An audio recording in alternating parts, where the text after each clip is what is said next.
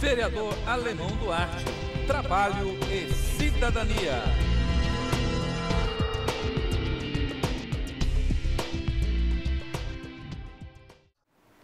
Meus amigos, minhas amigas, sou o vereador Alemão Duarte, autor da lei 9945 de 2013, lei do Dia Voluntário de Doação de Sangue.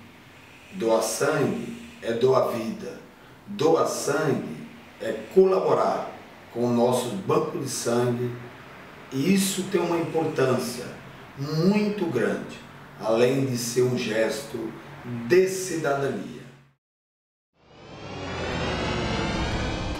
Vereador Alemão Duarte.